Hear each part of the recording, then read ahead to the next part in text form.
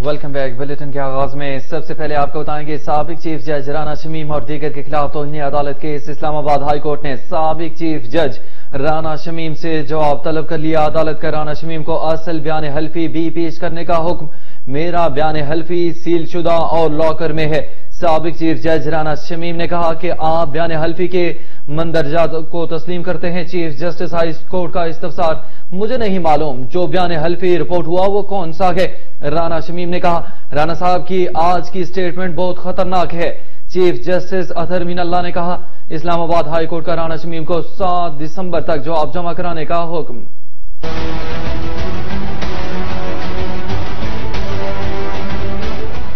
Islamabad high court ने सबक chief जज राना शमीम और दीगर के खिलाफ तोहिन अदालत केस की समाप्त की। चीफ जस्टिस हाईकोर्ट ने इस्तफसार किया, बयान हल्फी के मदरजात को तस्लीम करते हैं, जिस पर सबक चीफ जज राना शमीम ने कहा, मुझे नहीं मालूम जो बयान हल्फी रिपोर्ट हुआ, वो कौन सा है? मेरा बयान हल्फी सील शुदा और लॉकर में है। मुझे जवाब जमा कराने के लिए दो हफ़्ते का वक्त दिया जाए। अदालत ने राना शमीम को सात दिसंबर तक जवाब जमा कराने का हुक्म दे दिया।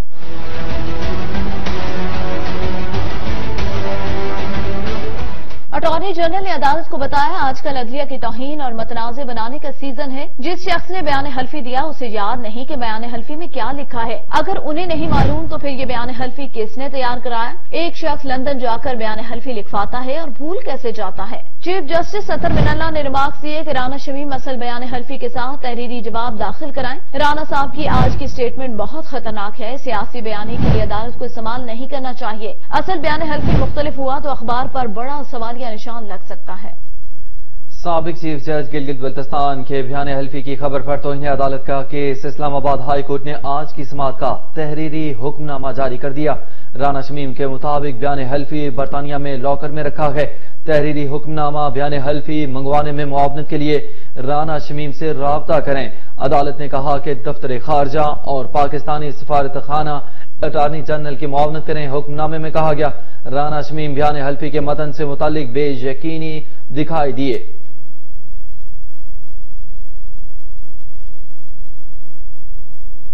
वज़ीर अजम इमरान खान की जेर सदारत विफा की काबीना का इजलास ईवीएम के ज़रिए इंतबात की सूरत में फंड जारी करने का फैसला। कानून सिर्फ़ ईवीएम पर इंतबात को तस्लीम करता है। फबा चौधरी ने कहा कि मुस्लिम लीग ने मुल्की इदारों के खिलाफ मुहिम चलाई। अदालतों को अपने खिलाफ चलने वाली मुहिम को मंतकी अंजाम तक पहुंचाना चाहिए। फबा चौधरी ने कहा कि सिंध हुकूमत कीमतों पर काबू नहीं कर पा रही। ईवीएम के ऊपर एक अहम जो फैसला वो ये है कि जो कानून में तब्दीली है उसके बाद इलेक्शन कमीशन को आ, हम ये समझते हैं कि अगले तमाम जो अभी बाई इलेक्शन हैं ये ईवीएम के ऊपर कराने लाजमी है। और अगर इलेक्शन ईवीएम के ऊपर नहीं होते तो एक नुकता नज़र ये है कि हुकूमत उसको फंड नहीं कर सकेगी क्योंकि कानून सिर्फ़ ईवीएम के ऊपर इंतबात को मानता है। वज़ीर अजम इमरान खान की जेर सदारत विफाकी काबीना का इजलास हुआ जिसमें इलेक्ट्रॉनिक वोटिंग मशीन के ज़रिए इंतबात न करवाने की सूरत में इलेक्शन कमीशन को फंड जारी न करने का फैसला किया गया। वज़ीर इतलात फवाद चौधरी ने कहा कि हुकूमत सिर्फ़ इसी सूरत इलेक्शन के लिए फंड जारी करेगी जब इंतबात ईवीएम पर होंगे। राना शमीम साहब हैं वाइस प्रेसिडेंट पीएमएलएन वो कह रहे हैं कि अपना ये एफिडेविट ही मेरा नहीं है। और मेरा एफिडेविट जो है, वो तो लॉक है। अब सवाल ये पैदा होता है कि वो लॉक एफिडेविट जो है, वो अखबार तक कैसे पहुँचा? और अखबार जो है, उसने वो एफिडेविट कैसे जो है, वो छाप दिया। यहाँ पे जिस तरीके से एक जुडिशरी के खिलाफ और फौज के खिलाफ एक कैंपेन पीएमएलएन ने स्पॉन्सर की, जिसमें कुछ मीडिया के लोग भी शामिल हैं। मुझे उम्मीद है कि अदालत उसका भरपूर नोटिस लेगी और इसको भी एक मंतकी इंजाम तक पहुँचाया जाएगा। विफाकी काबीना इजलास के बाद वज़ीर इतलात फवाद चौधरी ने मीडिया ब्रीफिंग देते हुए कहा कि कानून सिर्फ़ ईवीएम पर इंतबात को तस्लीम करता है। कानूनी राय के लिए कमेटी बना दी है। उन्होंने कहा कि राना शमीम को नून लीग का नायब सदर करार देते हुए कहा कि आज उन्होंने हाई कोर्ट में कहा है कि ये मेरा हल्फनामा ही नहीं। ये कैसे मुमकिन है कि एक शख्स का हल्फनामा अखबार में छप जाए और इसको मालूम ही ना हो? मुस्लिम लीग नून ने मुल्की इदारों के खिलाफ मुहिम चलाई। अदालतों को अपने खिलाफ चलने वाली मुहिम को मंतकी अंजाम तक पहुंचाना चाहिए। जो सिंध हुकूमत है, वो अनफॉर्चुनेटली अपने मामला जो हैं, उनको नहीं देख पा रही और वहाँ पे कराची और हैदराबाद की जो महँगाई है, उसकी वजह से हमारा एक ओवरऑल सेंसिटिव प्राइस इंडेक्स जो है, वो खराब हो रहा है। विफाकी वज़ीर फवाद चौधरी ने बताया कि सिंध हुकूमत कराची और हैदराबाद में कीमतों पर काबू नहीं कर पा रही, जिसके असरा पूरे मुल्क पर पड़ रहे हैं। वज़ीर अला सिंध कीमतों को कंट्रोल करें। काबीना ने सूबाई हुकूमतों को हिदायत की है कि वह अवाम को कोरोना की वैक्सीन लगवाएँ। कैंटोनमेंट अराजी पर कमर्शियल सरगर्मियों के खिलाफ केस की समात हुई। सुप्रीम कोर्ट सेक्रेटरी दिफा की रिपोर्ट गैर तसली बख्श करार। Cinema, petrol pump, shopping mall और मैरिज हॉल, दिफाई मकासद तो नहीं। अदालत ने कहा कि गैर कानूनी इमारतों की निशानदेही के लिए कमेटी बना दी। सेक्रेटरी दिफा ने कहा है गैर कानूनी इमारतें रही तो बाकियों के खिलाफ क्या एक्शन लेंगे? चीफ जस्टिस ने कहा, ज़मीन दिफाई मकासद पूरा होने पर वापस करना होती है। रियासत की ज़मीन पर कमर्शियल सरगर्मियाँ कैसे मुमकिन है? सुप्रीम कोर्ट ने कहा कि रियासत की ज़मीन का इस्तेसाल नहीं किया जा सकता। कैंटोनमेंट ज़मीन असल हालत में बहाल करना होगी। तमाम रूल्स और कवानीन का आइन के तहत जायजा लेंगे।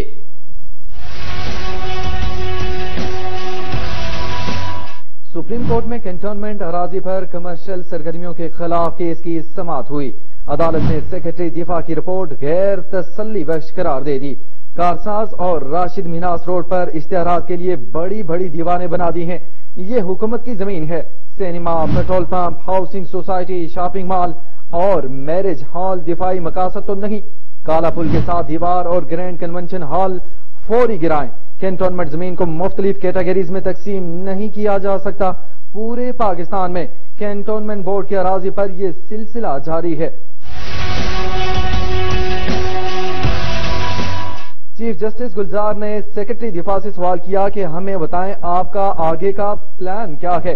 इस पर सेक्रेटरी दिफा ने बताया कि तीनों सर्विसेज़ की कमेटी बना दी है, जो गैर कानूनी इमारतों की निशानदेही करेगी।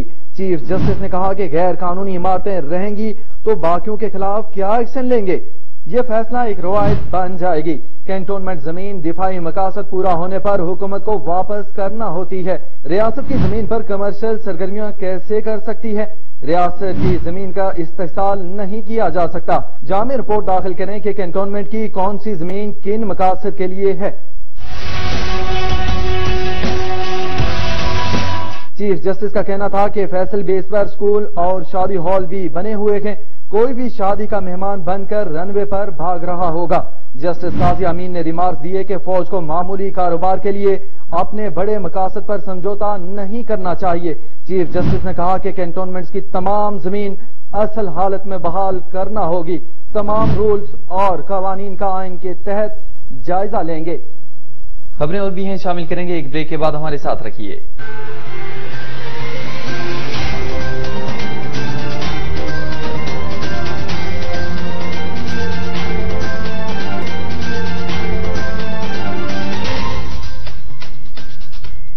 वेलकम बैक बुलेटिन में आगे बढ़ते हुए आपको बताएँ कि बिलावल भुट्टो का ईवीएम इलेक्शन मुस्तरद करने का ऐलान ओवरसीज पाकिस्तानियों के नाम पर गेम खेली जा रही है।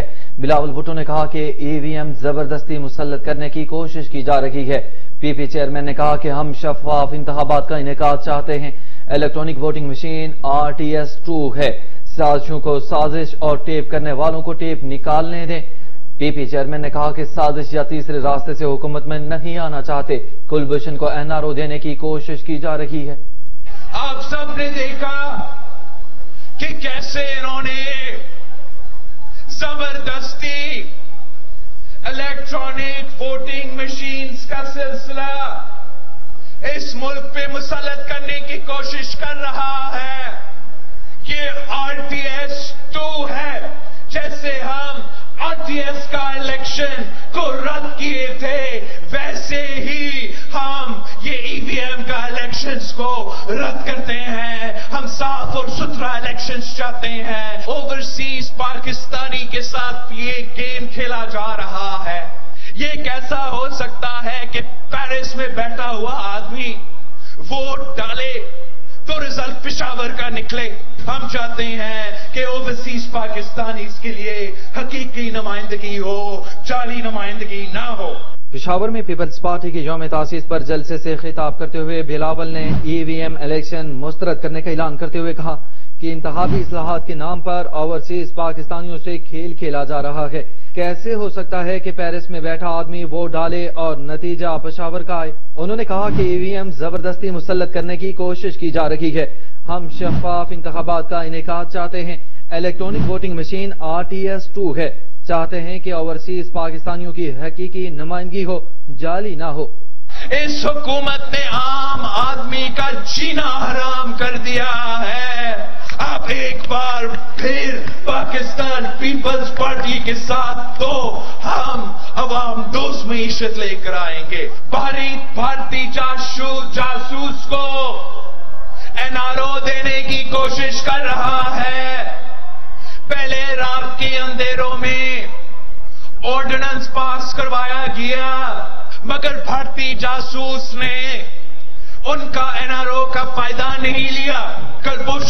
कलभूषण का मुखालफत हम सड़कों पे भी करेंगे, हम अदालतों पे भी करेंगे। चेयरमैन पीपल्स पार्टी का कहना था कि हुकूमत ने आम आदमी का जीना हराम कर दिया है।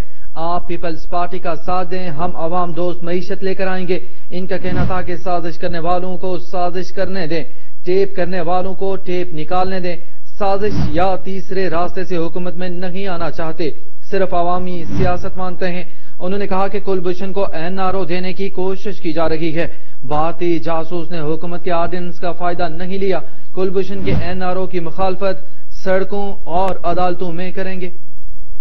वज़ीर आज़म ने वजरा को बैरून मुल्क सफ़र से रोक दिया। जराये का बताना है कि तीन माह तक बैरून मुल्क के दौरे न करें। वज़ीर आज़म की हिदायत जराये का मजीद बताना है कि मुल्क को मुआशी बहरानों का सामना है। वज़ीर आज़म इमरान खान ने कहा कि हुकूमत को मुख्तलिफ़ चैलेंजेस दरपेश हैं। वज़ीर आज़म इमरान खान ने कहा कि तीन माह में दरपेश चैलेंजेस से निमटने का हदफ है। ऐसी सूरत हाल में वजरा गैर ज़रूरी बैरूनी दौरे न करें, मुल्क में रहें और अपनी वजारतों की कारकर्दगी बेहतर बनाएँ।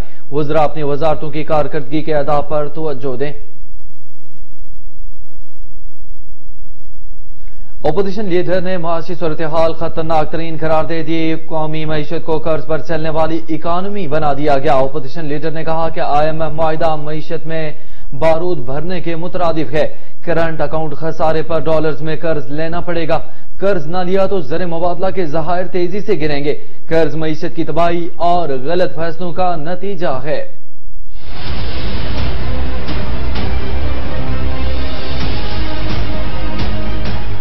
सदर मुस्लिम लीग नोन और अपोजिशन लीडर शहबाज शरीफ ने मुल्क की मायशी सूरत हाल को खतरनाक तरीन करार देते हुए कहा कि करंट अकाउंट खसारे में तारीखी इजाफे के नतीजे में डॉलर्स में कर्ज लेना पड़ेगा। डॉलर्स में कर्ज ना लिया तो फिर गैर मुल्की जर मुबादला के जहायर तेज़ी से गिरेंगे। उन्होंने कहा कि कर्ज, कौमी मीशत की तबाही, गलत फैसलों और मासी गलत हिकमत अमली का नतीजा है।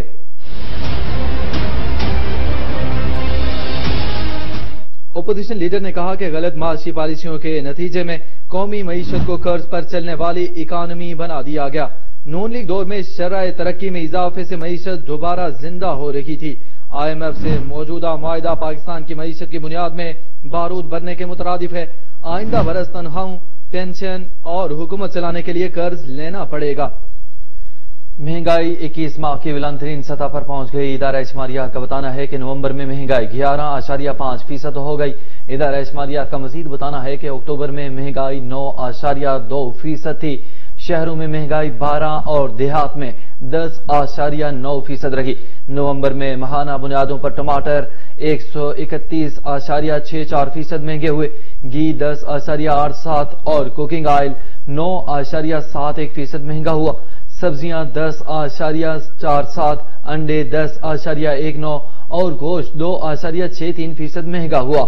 नवंबर में महाना बुनियादों पर दूध दो आशारिया तीन तीन और चीनी एक आशारिया चार तीन फ़ीसद महँगी हुई।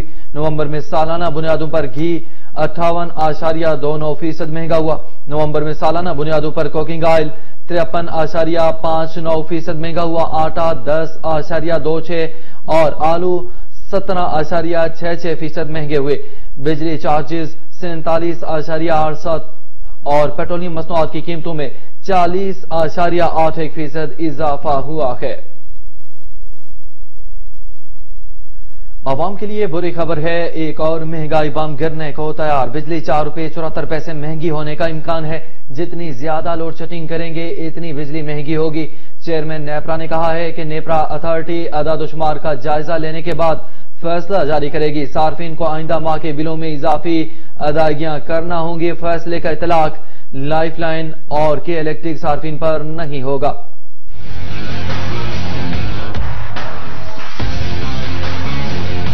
National electric power regulatory authority ने बिजली की कीमत में मजीद इजाफे का इम्कान ज़ाहिर कर दिया। अक्टूबर की फ्यूल प्राइस एडजस्टमेंट की मद में दरखास्त पर नेपरा में समाप्त हुई। चेयरमैन नेपरा का कहना था कि जितनी ज़्यादा लोड शेडिंग करेंगे, इतनी बिजली महँगी होगी। हमारे लिए ये बहुत ही मुश्किल मरहला है। उन्होंने कहा कि एलएनजी की तलब और रसद का मामला हल कराने के लिए पेशरफ चल रही है।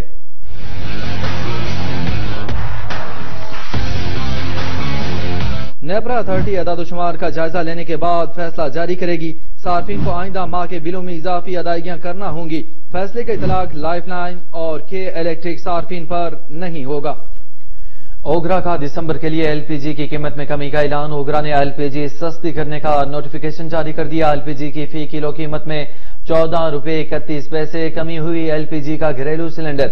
एक सौ अड़सठ रुपए नब्बे पैसे सस्ता हुआ। एलपीजी की नई कीमत दो सौ सोलह रुपए नवासी पैसे फ़ी किलो मुकर घरेलू सिलेंडर की नई कीमत दो हज़ार तीन सौ नब्बे रुपए चौवालीस पैसे मुकर एलपीजी की नई कीमतों का इतलाक यकम दिसंबर 2021 से होगा। नवंबर में एलपीजी का घरेलू सिलेंडर दो हज़ार पाँच सौ उनसठ रुपए पैंतीस पैसे का था। मजीद खबरें होंगी, एक ब्रेक के बाद हमारे साथ रखिए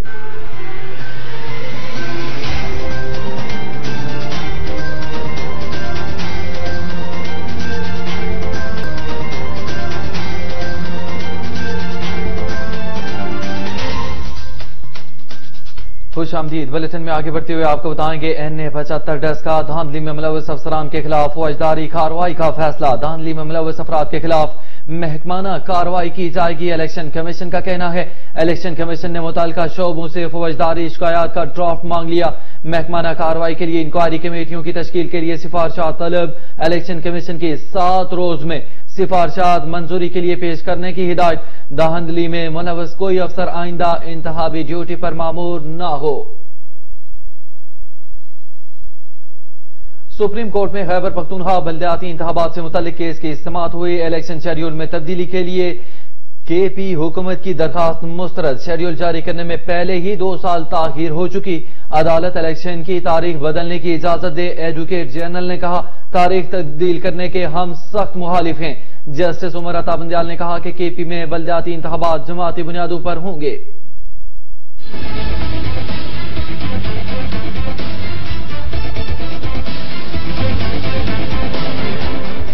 जस्टिस उमरता बंदियाल की सरबराही में तीन रुकनी बेंच ने खैबर पख्तूनखा बल्दियाती इंतबात से मुतल केस की समात की। अदालत ने कहा, इलेक्शन कमीशन पिशावर हाईकोर्ट के फैसले पर अमल दरामद के लिए इकदाम कर चुका। बल्दियाती इंतबात का शेड्यूल जारी करने में पहले ही दो साल ताखिर हो चुकी। एडवोकेट जनरल ने कहा, सिर्फ़ इलेक्शन नहीं, सही मानों में नुमाइंदगी की ज़रूरत है।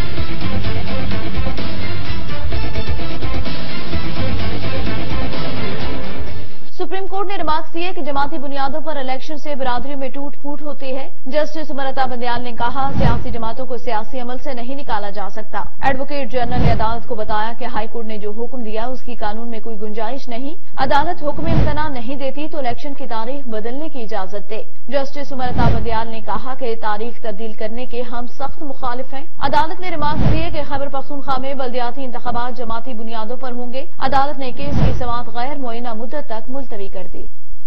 बहरीन के नेशनल गार्ड के चीफ ऑफ़ स्टाफ की जीएसक्यू आमद आर्मी चीफ से बहरीन के नेशनल गार्ड के चीफ ऑफ़ स्टाफ की मुलाकात। अफ़गानिस्तान की सिक्योरिटी सूरत हाल पर तबादला ख्याल किया गया। आईएसपीआर का बताना है कि मुलाकात में खत्े की सिक्योरिटी सूरत हाल पर तबादला ख्याल किया गया। पाकिस्तान बहरीन के साथ रवायती ताल्लुक बरकरार रखना चाहता है। आर्मी चीफ ने कहा कि बहरीन से मुख्तलिफ़ शोबों में तवील मुद्दती ताल्लुक चाहते हैं। जनरल कमर जावेद बाजवा ने कहा कि इलाकाई अम के लिए अफ़गानिस्तान पर आलमी तफाक राय पैदा करना होगा।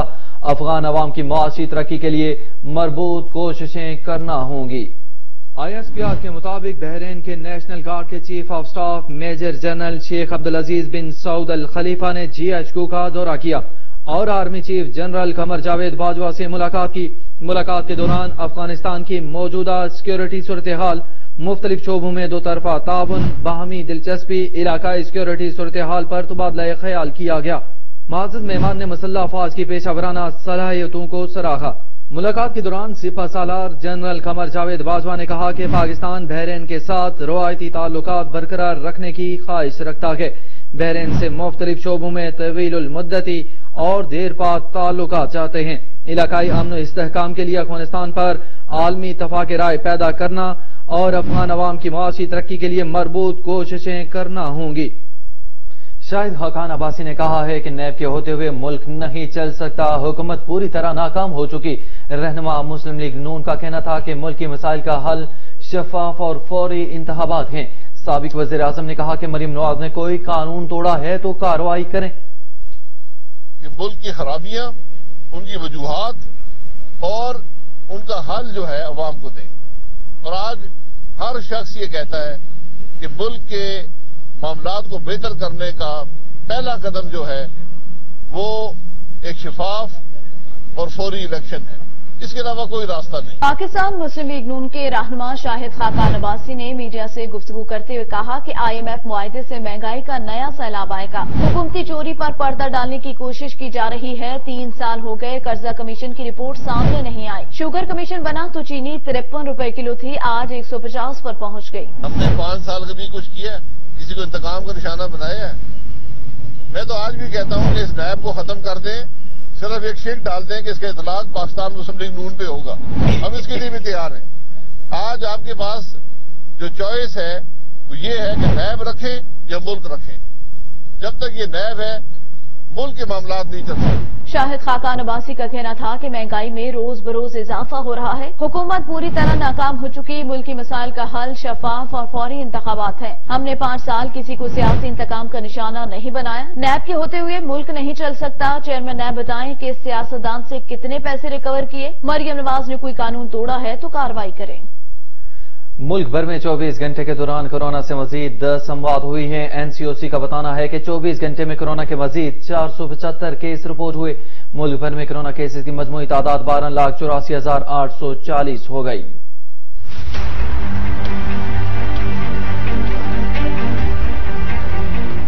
National command and operation centre के ताज़ा तरीन आदादुशुमार के मुताबिक गुजशतर 24 घंटों के दौरान चार सौ पचहत्तर नए केसेज रिपोर्ट हुए। मुल्क में कोरोना के तस्दीक शुदा केसेज की तादाद बारह लाख चौरासी हज़ार आठ सौ चालीस हो गई। गुजशतर 24 घंटों के दौरान बयालीस हज़ार पाँच सौ सत्तर नए टेस्ट किए गए। मुल्क में कोरोना मुस्बत केसेज की शरह एक आशारिया एक फ़ीसद रही।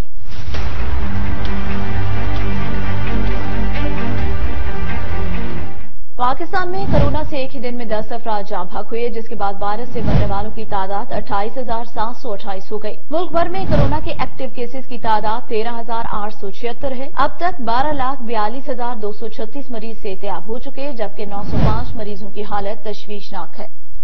कराची से आपको अपडेट करेंगे, कराची समेत सिंध भर में बल्दियाती मुलाजमीन की हड़ताल। बल्दियाती अमले ने कचरा उठाना और सिवरेज का काम छोड़ दिया। शहर की गली मोहल्लों में कचरे के ढेर लगना शुरू। जगह जगह कचरा पड़े रहने से बीमारियाँ फैलने का खदशा।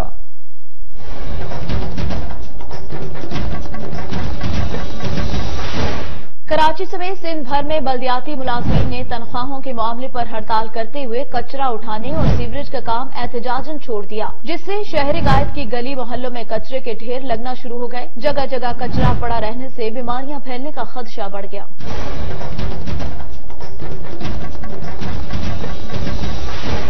शहरियों का कहना है कि दो तीन रोज से बल्दियाती अमला कचरा उठाने नहीं आ रहा, जिससे गली मोहल्लों में ताफुन फैल रहा है और बीमारियाँ फैलने का खदशा है। दूसरी जानब बल्दियाती मुलाजमीन का कहना है कि ओजेड की कमी के बाद कटौती से हर माह पैंतीस फ़ीसद तनख्वाहों से महरूम हो रहे हैं। वज़ीर आना और चीफ सेक्रेटरी की हिदायत के बावजूद खजाने से तनख्वाह देने में रुकावट डाली जा रही है। रुपए के मुकाबले में अमरीकी डॉलर की कीमत में तनजली देखी गई, जबकि पाकिस्तान स्टॉक मार्केट में मंदी रिकॉर्ड की गई है।